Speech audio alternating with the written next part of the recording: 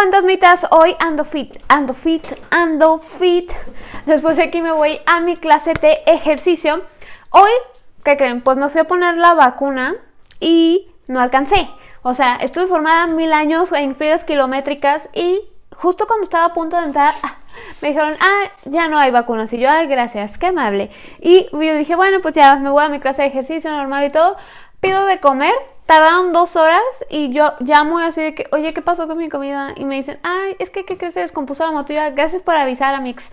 Entonces, pues ya también me quedé sin comer. Qué triste día el día. Qué triste fue el día de hoy. Pero en fin, hoy traigo un video súper padre. Imaginen que ustedes pues tienen un juguete y ustedes se mueren, ¿verdad? Bueno, ustedes están muertos, pero su juguete queda muy vivo, muy lleno de vida Así es, esto es el caso que pasó el día de hoy. Y con una muñeca, porque pues ya saben, no puede ser un tigre o un pu o algo por el estilo maldito, no, siempre tiene que ser una muñeca. Entonces, el día de hoy vamos a estar hablando sobre la muñeca esta que su dueña murió, pero la muñeca está muy muy viva, ¿ok? Pero bueno, antes de comenzar, aquí van a estar apareciendo mis redes sociales. Tengo Instagram, TikTok, Facebook, Twitter, no tengo Kawaii o Kawaii, no sé cómo se pronuncie, porque por ahí anda una cuenta haciéndose pasar por mí. Sube todo, absolutamente todo lo que yo subo en TikTok, lo sube en Kawaii, pero no soy yo. Entonces, si ven una cuenta que no sea yo, o sea, bueno, que tenga mi nombre porque dice María José Arce, así como mi nombre, no mi, no mi nickname así de Marijo Paranormal o algo así. No es mi cuenta, ¿ok? Mis redes oficiales solamente están enlistadas en la cajita de descripción. Fuera de ahí no no tengo más. Bueno, entonces recuerden suscribirse ahora con un rayo. Si está lloviendo así... Perdónenme la intensidad. Ahora sí, vámonos directo con este video. Los quiero mucho. Vamos ya adelante, fantasmitas, con este video. Ok, esta es el caso de la muñeca de Beth Parson. Beth Parson era una niña que tenía solamente cuatro añitos. Pero estamos hablando que en las épocas de Beth Estamos en los años 1900, ¿ok? O sea, hace mucho tiempo. 1900, ella nace, pues vive cuatro años y a los tres años le regalan una muñequita. Sus papás en su cumpleaños, ay, qué padre, se parece un montón a ti, los ojos azules, bla, bla, bla. Toda la muñeca, porque esto se acostumbraba mucho antes y creo que todavía como que te regalan muñecas que se parecen a ti y es un detalle así como pues bonito, así como, ah, curiosito. A mí no me gustaría personalmente, pero bueno, a muchas personas sí les gustan. Y le regalaron una muñeca. Beth la amó, o sea, amó a su muñeca, pasaba horas, días, semanas, meses con su muñeca, ya la llevaba para allá, hablaba con ella, le daba de comer, la sentaba, se dormía con ella, todo muy bien, o sea, hicieron como un lazo porque pues a Beth le fascinó su muñeca, todo muy bien. Desafortunadamente en aquellos años el tiempo que se vivía, o sea, ahora sí que la esperanza de, vida de la gente era mucho más corta que ahorita, pues por diferentes cosas, por las enfermedades, porque no había tanta medicina, porque esto, porque el otro, porque aquello. Desafortunadamente Beth tenía cuatro años cuando falleció pues de una enfermedad. ¿Ok? Obviamente su familia quedó totalmente devastada, sus papás, porque no tuvieron más hijos, solamente tenían a Beth y cuando muere, pues ellos quedan totalmente desolados, no quisieron volver a tener hijos. Y pues fue como algo, algo muy triste, pero normal, entre comillas, porque les digo, la esperanza de vida, así como que los años que vivíamos no eran tantos como son ahorita.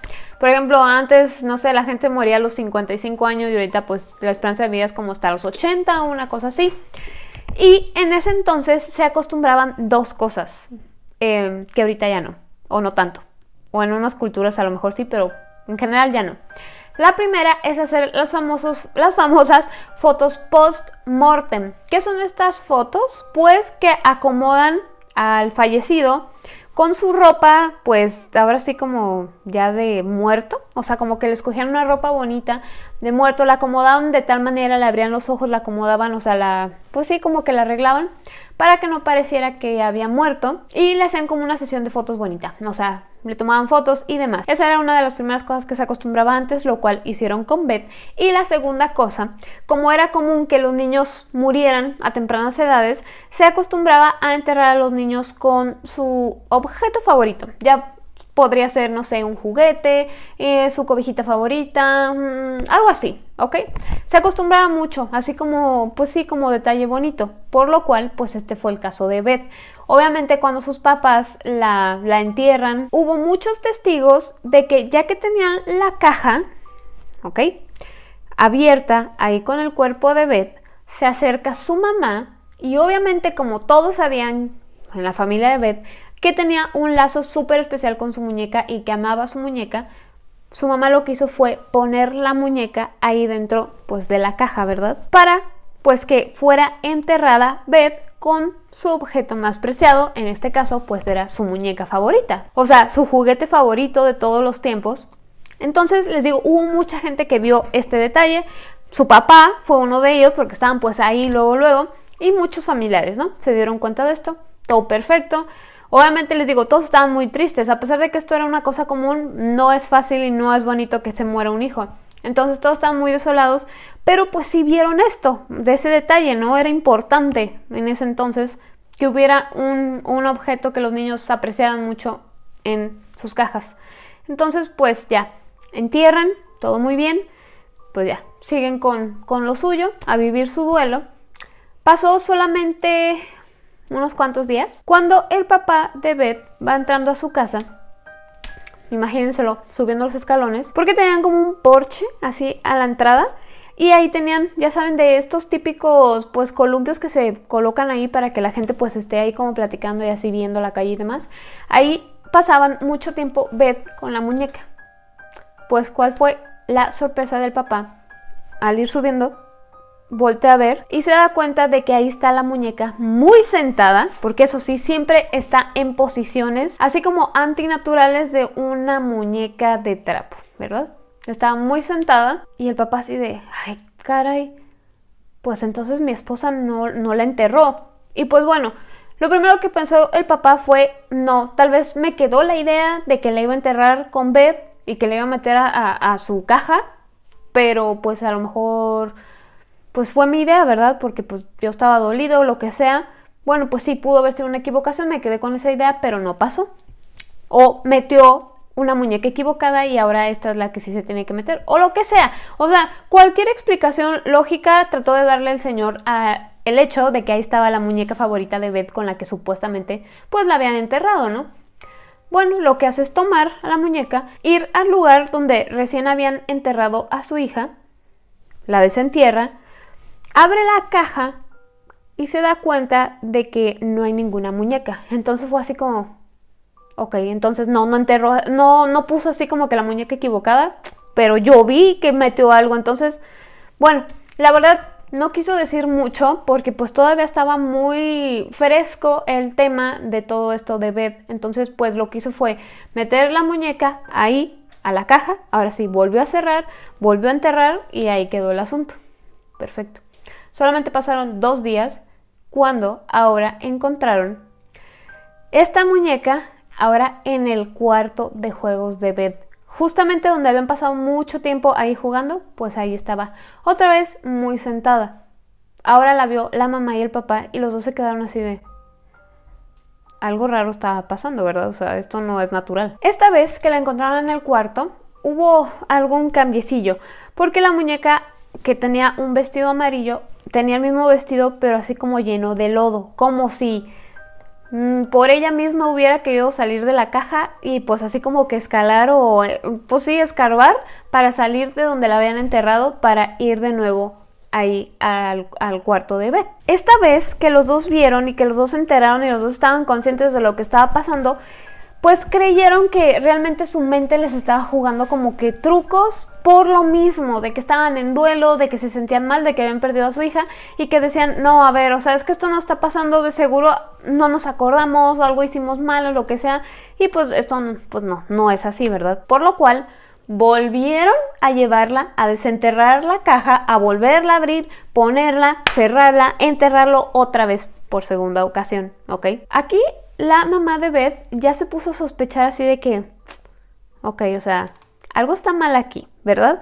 Porque cuando ellos iban a checar el recién enterrado, caja, todo lo que sea, pues no había cambios, o sea, hagan de cuenta que se vería que la Tierra está como recién movida o lo que sea, si alguien les quisiera hacer como que la jugarreta, vamos a ponerlo así, pero no, todo estaba como ellos lo habían dejado. Entonces, pues, no. Ahora, ya que los dos estaban conscientes de que, ok, la muñeca se salió, la volvimos a meter, o sea, ya no es cosa tuya ni mía. Ahora sí los dos vimos, ahora sí los dos nos enteramos y demás. Cuando aparece una tercera vez, ahora estaba en la cama de Beth, muy bien sentada, ahí como cuando Beth la dejaba ahí cuando estaba en vida, o sea, así la acomodaba ella. Ahora sí, aquí se dieron cuenta de que no, efectivamente la muñeca algo tenía malo, además de que supuestamente tenía un escrito con letra de niño, así de niño que recién está aprendiendo a escribir, que decía, ¿por qué no me dejan entrar a casa? Cuando los dos papás vieron esto, dijeron, no, o sea, ella es la tercera, el escrito, ¿qué onda? Lo que decidieron fue ya ahora sí llamar a un padre y decirle la situación que estaba pasando con esta muñeca porque pues ya definitivamente esto no era normal. Desde la primera vez no era normal, pero tres veces pues ya no, no era tan normal, ¿verdad? Era menos normal. Después de esto, el padre, ahora sí les dice, ¿saben qué? Pues es que se tienen que deshacer de esta muñeca. Lo que decidió la familia Parson, o sea, la mamá y el papá de Beth, fue dar la muñeca a una caridad para que ya la regalaran a quien sea que la quisiera tener.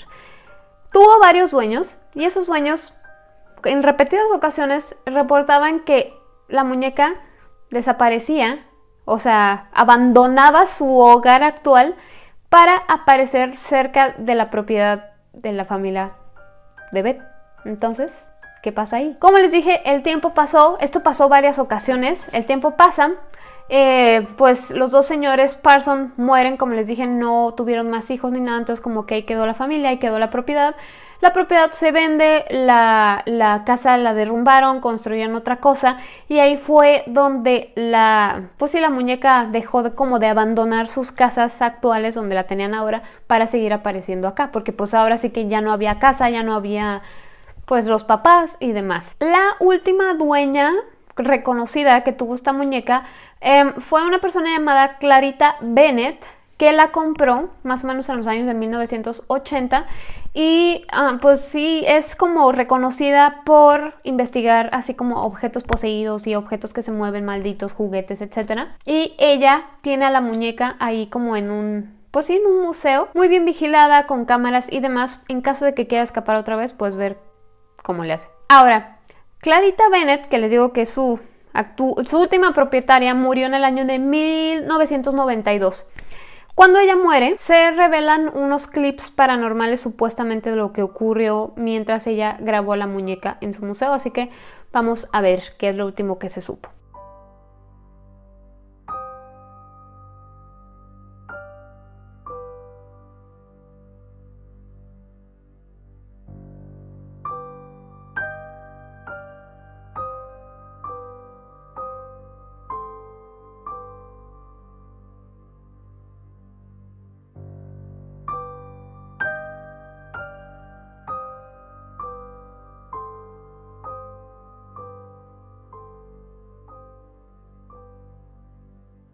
Bueno, fantasmitas, esto ha sido todo por el video de hoy. Espero leer sus, sus, sus, sus, sus, ¿cómo se dice? Sus opiniones en los comentarios.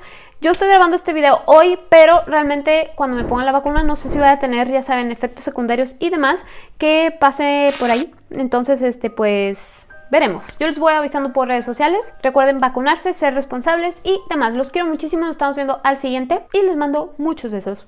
Marijofit, out.